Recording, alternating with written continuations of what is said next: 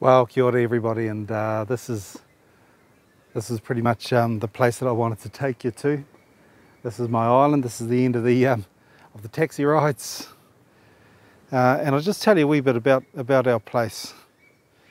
Um, it, it's a it's a place that's been handed down for generations um, by the indigenous peoples of southern New Zealand, and um, in here we it's a place our families have always gone to participate in a food harvest, um, the, the, the, catching the, of the titi, the mutton bird. And when we come here, um, we go to the same places that our families have always gone to. So we go to the, to, to the places, uh, um, the same place every year, the place that our families have gone for generations after generation. So it's, it's very special for us to be in this place and to walk in the same footprints as the old people. Uh, yeah, so it's a it's it's a place that feeds our identity. Growing up as a as a young man, um, we'd sort of take a couple of months off school every year, pack up, get on a boat, and come down here. When we're down here, there's no electricity, there's no running water, um, there's, there's no internet coverage access. So when we come down, it's just us with the family, with the poua, grandfather, uh, grandmother, uncles and aunties, etc., mother. So it's a, it's a place where our family comes in, you know, any, at any given time. You know, even this season, um, I think we've got about sort of uh, 30 or 40 relations living all around the place. It's just sort of getting late afternoon. I don't know if you can see the birds all jumping around behind me, but they're having a bit of, wee bit of fun out there. Um, yeah, so this is this is the place that whenever I think about who I am and what I do, this is the place that I come to. Unfortunately, I can only get down sort of like a, a week at a time just now with, with modern life commitments. But this is the place that feeds my identity. The place that the ancestors have always gone to. The place that we still go to now and have that connection to where we harvest food. I've just got the camera turned around here now because I saw what's called a weka. There he goes over here. See that fellow running around over there? He's a small flightless bird, not a kiwi. He's gone in the bush there now. Yeah, so this this is our place. Um, I'll tell you a wee bit about the birds. They're an interesting bird, migratory bird. They migrate around the um, Pacific Rim. So all around from, from our place, they leave here at sort of uh, late May and migrate around the Pacific Rim and come back and they only make landfall back here. And when they make landfall, they come and nest and holes in the ground. So they don't actually nest in trees, they, uh, they burrow into the ground. And so this is what their, their holes look like here. You can see actually that's got some fresh scratchings around it, so there'll be a baby in there somewhere. And in the first half of the season, we actually have to spend time lying on the ground trying to get the birds out of their holes. But in the second, the second part of the season, uh, which is which is now, they come out and they walk around and they get rid of all their downs, etc., and get ready to fly, get ready to leave. And we come out at night, and the windier and rainier, the better. They don't like the, the moon, so those dark, dreary nights. Now, growing up as a as a young fella, sleeping in a, a cold house with, you know, no electricity, uh, you know, and, and, hearing the pouas, the grandfather's feet hit the floor as soon as that rain hits the roof in the middle of the night, two o'clock in the morning, getting out. And it's like, ah, oh, I've got to get out and go to work. so it's a unique, a very unique place. Uh, unfortunately, I can't show you any of the processes of, of catching the birds, but I can show you our place and what it looks like. And in locating it, I suppose it's difficult. You have to look on a map. A wee bit of rain coming through just now. but it's difficult to, to locate without knowing New Zealand. And it's right at the very, very bottom. So the last island that we have in New Zealand is, is called Rakiura, Stewart Island. And that's should be it over there. You can just see it in the distance. That's Rakiura, that's Stewart Island. And I'll tell you what, I'm right at the edge of a cliff here. It's quite quite uh, quite fun coming out here, but a wee bit scary as well. There's a but I'll tell you what, if I get down here, and sorry I can't focus in, but if you look down there, you can see some seals sleeping on the rocks down there. Looks like a couple of parents or, and a baby. You see them? Hopefully you can. So with this place here anyway, that's the bottom, very bottom of New Zealand. And out that way, if we go any further, we're out into the ice. So we're out into Antarctica. So yeah, it gets pretty cold out here. You can see the sea rolling in.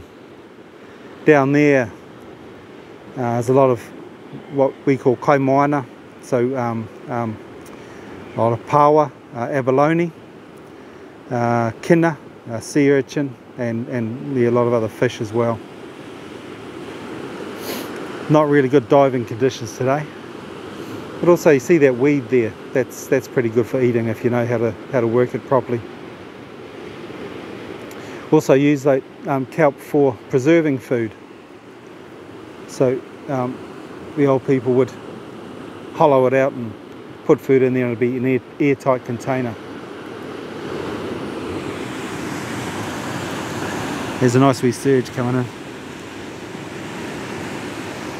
I see our seal mates are still down there. I'll tell you what, one of the fun things we used to do as kids is chase seals. I'll get a wee bit closer to the rocks and see if I can uh, see if I can see any.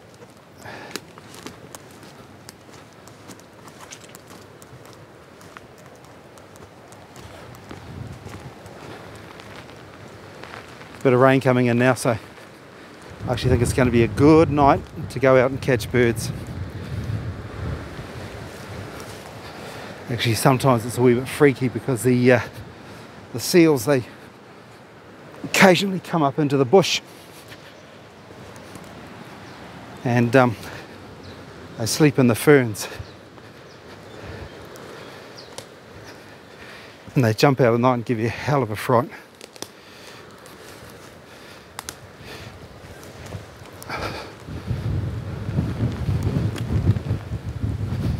Try not to slip down.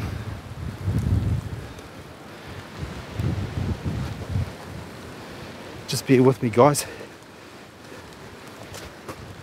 We'll get down here and see if we can get a close up on some of these, eh?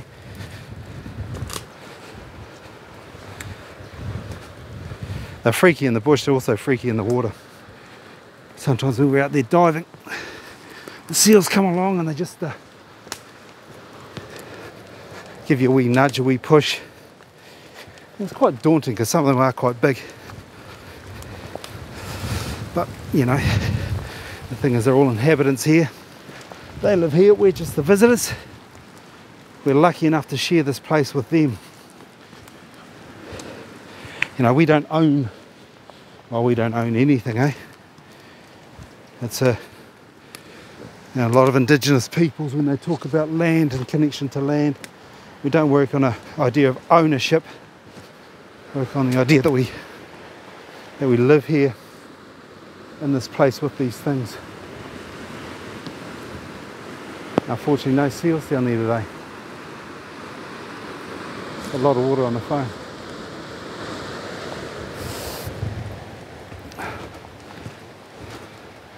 Yeah so when we're here we, we understand the special relationship we've got with this place. Um, and we understand how lucky we are to be here. We try not to disturb the land or those other beings that live here, you know, other relations that we share this place with too much. Uh, you know, apart from our food sources. That's the way that works, eh?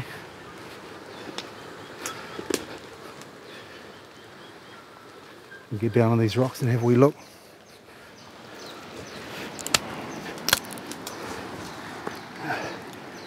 It's hard work. Now just be very careful and see if we got any little seal mates. And I think not today. Yeah. Sorry but this guys, brought you all the way down here, there's nothing to see.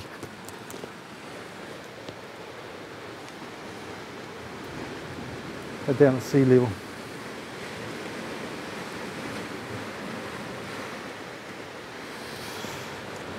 Yeah, so um you know this is this is uh, this is my place. This is my identity. This is the place that I connect to. This is the place that when I think about who I am and what I do, I go to this place. This is the place that I know that I'm responsible for. I'm responsible for looking after this place so these trees can grow. Looking after these waters so that we can get the, the fish out of the waters and looking after the other animals that are here as well. And not many animals, just birds and seals mainly. But looking after everything here because I know if I don't, and if this place disappears, this, this place that uh, we've been given by the old people, this place that's been given to us by nature, you know, if we wreck this and ruin this, there's nothing left for us, eh? But this is it.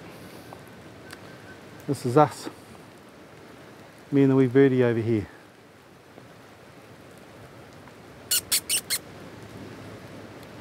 Yeah. Yeah, so uh, thanks for joining me on this on this trip down here to our island. And uh, I'll, I'll talk more to you soon, eh? So uh, take care. See you soon.